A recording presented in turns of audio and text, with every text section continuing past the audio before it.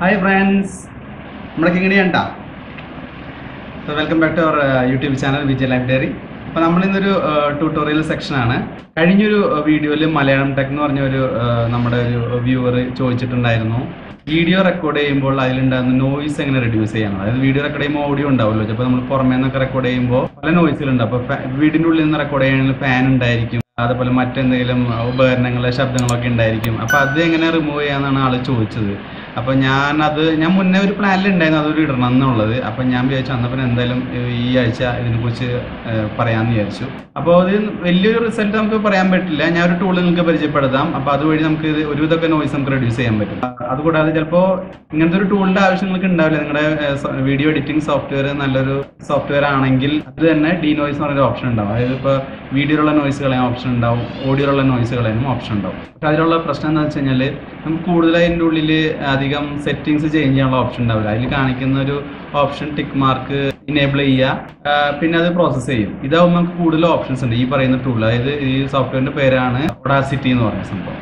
അപ്പോൾ അതിന്റെ link download ചെയ്യാനുള്ള ലിങ്കും ഫ്രീ സോഫ്റ്റ്വെയർ ആണ്. ഡിസ്ക്രിപ്ഷൻ ബോക്സിൽ കൊടുക്കാം. അപ്പോൾ നിങ്ങൾക്കൊന്ന് ട്രൈ ചെയ്ത് നോക്കാം. അപ്പോൾ നമുക്ക് അത് എങ്ങനെയൊക്കെ എഡിറ്റ് ചെയ്യാം അതിന്റെ റിസൾട്ട് എന്തൊക്കെയാണെന്നൊക്കെ നമുക്ക് നോക്കാം.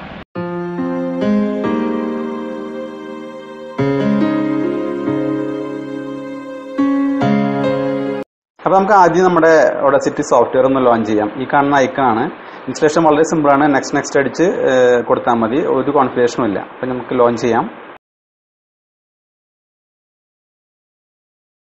അപ്പോൾ ആദ്യം തന്നെ എന്റെ വെർഷൻ കാണിക്കുന്നുണ്ട്. Audacity two point three point one ആണ് വെർഷൻ ഓക്കെ കൊടുക്കുക. ഇതാണ് അതിന്റെ മെയിൻ കൺസോൾ കുറേ ഓപ്ഷൻസ് ഉണ്ട്. ഓരോരുത്തരുടെ ഇൻട്രസ്റ്റ് അനുസരിച്ച് നമുക്കിത് എക്സ്പ്ലോർ ചെയ്യാം. അതിൽ കുറേ ഉള്ള കാരണം ഞാൻ എല്ലാം ഒന്നും കാണിക്കുന്നില്ല. മെയിൻ ടോപ്പിക് സെലക്ഷൻ ആയതുകൊണ്ട് നമുക്ക് മാത്രം കോൺസെൻട്രേറ്റ് ചെയ്യാം. അപ്പോൾ ആദ്യം നമുക്ക് ഫയൽ ഇമ്പോർട്ട് ചെയ്യാം അതിലേക്ക്. ഫയൽ പോവുക ഓപ്പൺ നേരത്തെ റെക്കോർഡ് വെച്ച നോയ്സ് നമ്മൾ ഇവിടെ സേവ് ചെയ്ത് വെച്ചിട്ടുണ്ട്. നോയ്സ് ബിഫോർ എന്നാണ് സേവ് ചെയ്ത് വെച്ചേക്കണേ. അത് നമുക്ക് ഓപ്പൺ ചെയ്യാം. അപ്പോൾ ഒരു പോപ്പപ്പ് വിൻഡോ വരും. വേറെ ഒന്നുമില്ല നമ്മൾ ഒരു ഫയൽ എഡിറ്റ് ചെയ്യാൻ പോകാണല്ലോ അപ്പോൾ അതിന്റെ കോപ്പി അതായത് ജസ്റ്റ് ബാക്കപ്പ് പോലെ ഉണ്ടാക്കി വെക്കുന്നു അല്ലെങ്കിൽ അതിൽ തന്നെ മോഡിഫൈ ചെയ്താൽ മതി എന്നുള്ള ഓപ്ഷൻസ് ആണ്. അപ്പോൾ ഞാൻ എനിക്ക് അതിന്റെ ബാക്കപ്പ് വേണ്ട. Read the files directly from the original faster second option ഓപ്ഷനാണ് നീവിന്റെ എപ്പോഴെപ്പോഴും വേണ്ട എന്നുള്ളവർക്ക് ഈ താഴത്തെ ടിക്ക് മാർക്ക് ഒന്ന് ഇനേബിൾ ചെയ്താൽ മതി. ഓക്കെ കൊടുക്കാം. ഇതാണ് അതിന്റെ സ്പെക്ട്രം എല്ലാവർക്കും അറിയാലോ ഹോഡി സ്പെക്ട്രം ഈ ബ്ലാങ്ക് ആയിട്ട് കാണുന്നോടം വോയിസ് ഒന്നുമില്ല. പിന്നീട് കാണുന്നതൊക്കെ നമ്മുടെ വോയിസിന്റെ എന്താ പറയാ ഹൈയും ലോയും പിച്ചൊക്കെ അനുസരിച്ചുള്ള വേരിയേഷൻസ് ആണ്. അപ്പോൾ നമുക്ക് വേണ്ട ഓപ്ഷൻസ് ഈ എഫക്റ്റ് എന്ന് പറഞ്ഞ ഇതിലാണ്. കണ്ടോ? കുറേ ഓപ്ഷൻസ് ഉണ്ട്. Amplify auto duck bass and treble അതായത് ബാസ് ആൻഡ് ട്രിബിളും അഡ്ജസ്റ്റ് ചെയ്യാനുള്ള options change pitch change speed change tempo fade in fade out നമുക്ക് വേണ്ടത് നോയ്സ് റിഡക്ഷൻ ആണ്. അപ്പോൾ നമുക്ക് അതിൽ ക്ലിക്ക് ചെയ്യാം. നമ്മൾ ഓഡിയോ ക്ലിപ്പ് സെലക്ട് ചെയ്ത് വെച്ചിട്ടില്ലെങ്കിൽ ഇങ്ങനത്തെ ഒരു എറർ മെസ്സേജ് വരും. Select the audio for noise reduction okay അപ്പോൾ ആദ്യം തന്നെ നമുക്കൊരു നോയ്സ് പേരിന് സെലക്ട് ചെയ്ത് വെക്കാം. അതായത് നമുക്കറിയാലോ ഇനീഷ്യൽ സ്റ്റേജ് ആണ് ആ ഫാന്റെ നോയ്സ് ഒക്കെ ഉള്ളത്. അപ്പോൾ നമുക്ക് ആദ്യം അത് സെലക്ട് ചെയ്ത് വെക്കാം. സെലക്റ്റിലേക്ക് പോവുക എന്റെ ഓഡിയോ ആണെങ്കിൽ നമുക്ക് സെലക്ട് ചെയ്ത് വെക്കാം കൺട്രോൾ എ പ്രസ് ചെയ്ത് കഴിഞ്ഞാൽ എന്റെ ഓഡിയോ സെലക്ട് ആവും. എന്നിട്ട് go to noise reduction okay അപ്പോൾ ഇതാണ് ഫസ്റ്റ് സ്റ്റെപ്പ് അപ്പോൾ ഫസ്റ്റ് സ്റ്റെപ്പ് പറയുന്നുണ്ട് select a few seconds of just noise so Audacity knows what to filter out അതായത് ഒഡസിറ്റി നമ്മൾ ട്രെയിൻ ചെയ്യണം അല്ലെങ്കിൽ നമ്മൾ കാണിച്ചു കൊടുക്കണം എന്താണ് നോയിസ് നമ്മുടെ ഈ റെക്കോർഡ് ചെയ്ത ഓഡിയോയിൽ നമ്മളത് കാണിച്ചു കൊടുക്കുകയാണ് ചെയ്യേണ്ടത്. അപ്പോൾ ഗെറ്റ് നോയിസ് പ്രൊഫൈൽ കൊടുക്കുക. നമ്മൾ നേരത്തെ സെലക്ട് ചെയ്ത് വെച്ചിട്ടുണ്ടായിരുന്നു. അതുകൊണ്ട് നമ്മൾ ഇനി വീണ്ടും സെലക്ട് ചെയ്യേണ്ട ആവശ്യമില്ല. വീണ്ടും എഫക്റ്റിലേക്ക് പോകുക അതായത് ഇപ്പോൾ നമ്മൾ സെലക്ട് ആക്കി വെച്ചിട്ടുണ്ട്.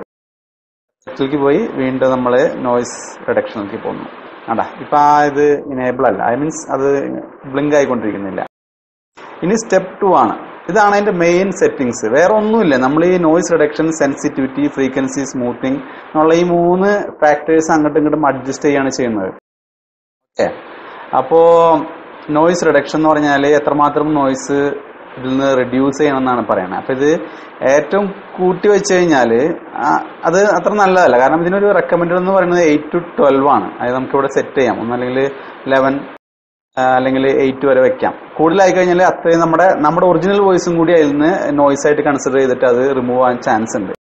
നമ്മളൊരു എയ്റ്റ് ടു ട്വൽവിന്റെ ബിറ്റ്വീൻ ആയിട്ടുള്ള ഏതെങ്കിലും ഒരു വാല്യൂ ഇട്ടാൽ മതി.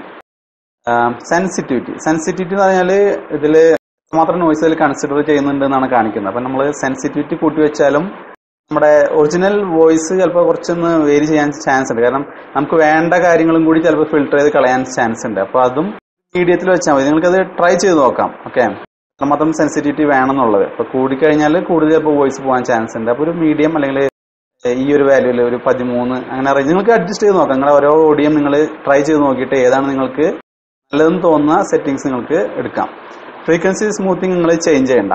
അത് മൂന്ന് തന്നെ വെച്ചാൽ മതി. റെഡ്യൂസ് ഓർ റെസിഡ്യൂ റെഡ്യൂസ് എന്ന് പറഞ്ഞാൽ സെലക്ട് ചെയ്ത നോയ്സ് മാത്രം കളഞ്ഞിട്ടുള്ള ഓഡിയോ ആയിരിക്കും ഔട്ട്പുട്ട് ആയിട്ട് വരിക മറ്റേ റെസിഡ്യൂ എന്ന് പറഞ്ഞാൽ നേരെ തിരിച്ചായിരിക്കും വരിക അപ്പോൾ നമുക്ക് ഇതൊന്ന് ട്രൈ ചെയ്ത് നോക്കാം. ഓക്കെ വേറെ ഒന്നുമില്ല നമ്മൾ ഓക്കെ കൊടുക്കുന്നു. ഈ സെറ്റിങ്സ് നമ്മൾ ഓക്കെ കൊടുത്തിട്ട് ഈ ഓഡിയോ എല്ലാം നമ്മൾ സെലക്ട് കൊടുക്കണം. ഒന്ന് കൺട്രോൾ എ ചെയ്ത് കൊടുക്കണം. കാരണം ഇനി എന്റെ ഓഡിയോ നമ്മൾ ഈ പറഞ്ഞ പ്രോസസ്സ് ചെയ്യണമല്ലോ സെലക്ട് ചെയ്ത് കൊടുത്തു. ഇനി എഫക്റ്റിൽ പോവുക വീണ്ടും നോയ്സ് റെഡക്ഷനിലേക്ക് പോവാം. ഓക്കെ അപ്പം എല്ലാം സെറ്റ് ആയിട്ടുണ്ട്. നമ്മളൊന്ന് ഓക്കെ കൊടുത്താൽ മതി. കേട്ടോ നോയ്സ് ഒന്ന് കുറഞ്ഞിട്ടുണ്ട്. ഇനി ഒന്ന് പ്ലേ ചെയ്ത് നോക്കാം നമുക്ക് ഹലോ ഫ്രണ്ട്സ് അപ്പൊ നമ്മളിത് ഫാനിന് നിന്നിട്ടാണ് റെക്കോർഡ് ചെയ്യുന്നത് നിങ്ങൾ ശ്രദ്ധിച്ചു കഴിഞ്ഞാൽ ഇതിന്റെ ഇടയിൽ നമുക്ക് നോയ്സ് കേൾക്കാൻ പറ്റും. അപ്പൊ നമുക്കിത് എക്സ്പോർട്ട് ചെയ്ത് നോക്കാം ഓക്കെ വീണ്ടും ഫയലിലേക്ക് പോവുക എക്സ്പോർട്ട് നമുക്ക് എക്സ്പോർട്ട് ചെയ്യുമ്പോൾ M P three W V അങ്ങനത്തെ ഓപ്ഷൻസ് വരുന്നുണ്ട്. അപ്പം നമുക്ക് എം പി ത്രീ ആയാലും ഡബ്ല്യു വി ആയാലും കുഴപ്പമൊന്നുമില്ല. നോയിസ് ആഫ്റ്റർ എന്ന് പറഞ്ഞിട്ട് നമുക്ക് സേവ് ചെയ്യാം.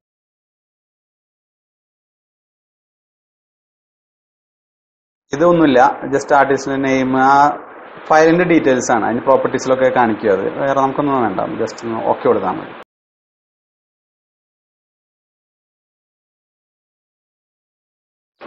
ഡെസ്ക്ടോപ്പിൽ വന്നിട്ടുണ്ടാവും. നോയ്സ് ആഫ്റ്റർ ഹലോ ഫ്രണ്ട്സ് അപ്പൊ നമ്മളിത് ഫാനിന് താഴെ നിന്നിട്ടാണ് റെക്കോർഡ് ചെയ്യുന്നത്. ഫസ്റ്റ് നമ്മൾ ആദ്യം റെക്കോർഡ് ചെയ്ത ഫയലും കൂടെ ഒന്ന് പ്ലേ ചെയ്ത് നോക്കാം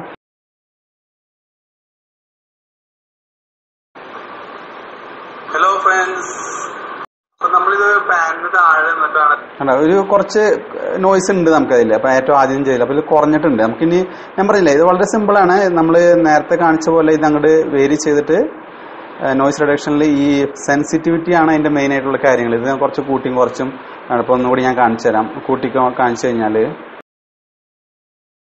നമുക്ക് ആദ്യം പോട്ട് ജസ്റ്റ് ഒന്ന് കാണിക്കാം.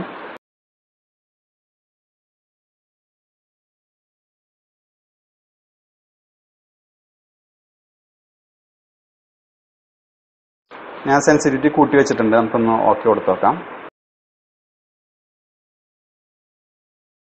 എന്നാ പറഞ്ഞു. ഹലോ ഫ്രണ്ട്സ് അപ്പൊ കണ്ട അപ്പൊ ഏറ്റവും ഏറ്റവും ആദ്യമൊക്കെ ഉള്ളത് ഫിൽട്ടർ ചെയ്ത് പോയി കഴിഞ്ഞു. അവിടെ പാന്റ് നോയ്സ് ഇല്ല. പിന്നെ ഇടയ്ക്കുള്ളത് കുറഞ്ഞിട്ടുണ്ട്. ഇതിന്റെ സെറ്റിങ്സ് ഇത് നോയ്സ് റിഡക്ഷൻ വേണമെങ്കിൽ കുറച്ചും കൂടി കൂട്ടിയിട്ട് കഴിഞ്ഞാൽ നിങ്ങൾക്ക് കാണാൻ പറ്റും അത്. അതിന്റെ സ്പെക്ട്രം ചെറുതാവുന്ന കണ്ടോ? അതായത് നോയ്സും അതിന്റെ വേരിയേഷൻസ് ഒക്കെ ഒന്ന് കുറയുന്നതാണ് കാണിക്കുന്നത്. അപ്പൊ ആ നോയ്സ് ഒക്കെ അങ്ങനെ നമുക്ക് വേരി ചെയ്യാം. അപ്പൊ നിങ്ങൾ ഒന്ന് ട്രൈ ചെയ്ത് നോക്കുക. അപ്പൊ ഇതൊക്കെയാണ് അതിന്റെ സെറ്റിങ്സ് അപ്പൊ നമ്മുടെ ഫ്രണ്ട് ചോദിച്ച ആൾക്കും ഇത് കാണുന്നുണ്ടോ എന്ന് അറിയില്ല. അപ്പൊ ഇതൊരു ഇത് ആൾക്കാർക്ക് ഇത് യൂസ്ഫുൾ ആവുമെന്ന് വിചാരിക്കുന്നു.